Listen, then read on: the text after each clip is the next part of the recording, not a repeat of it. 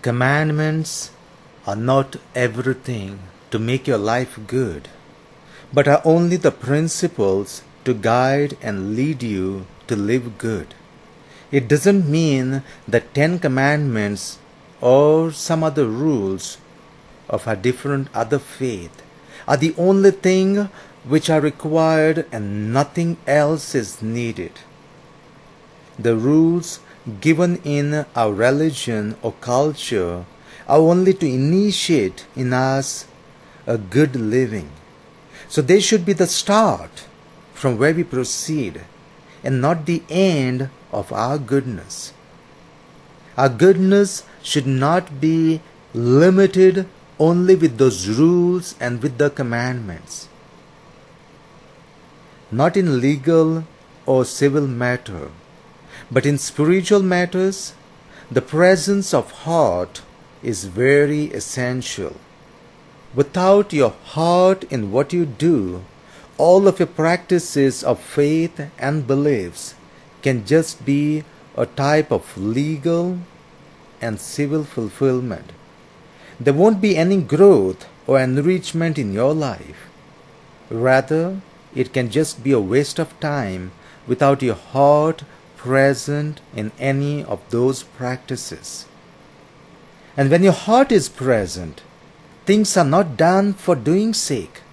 You like to get more out of it, and limits or bars get dissolved. Example If you like and love your friend so much, you will feel a limit of meeting for five or ten minutes is not going to work and would not be enough.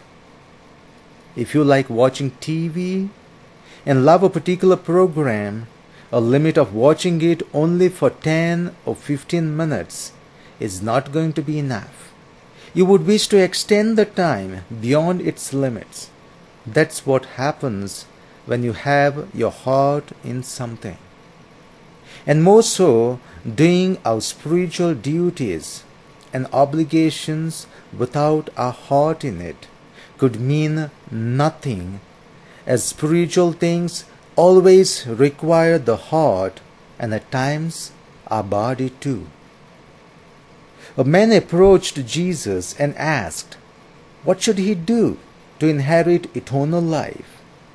Now, note here, he is interested. He wants to do something more. He knows that he has been following the commandments but is not content and happy. There is a voice within him which demands some action, something more of this active life.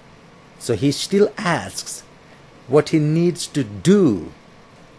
He said he's been following all the commandments right from his young age. And Jesus looked at him lovingly and said, He lacks one thing. What? After following all the commandments, he lacks still something more? Yes.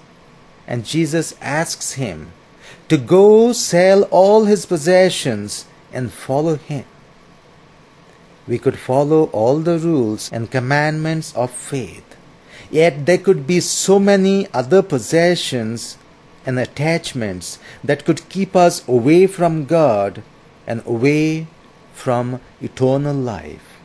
Let us try to see what else can we do, how much more active life that we can live and carry out our different obligations of faith and of our culture.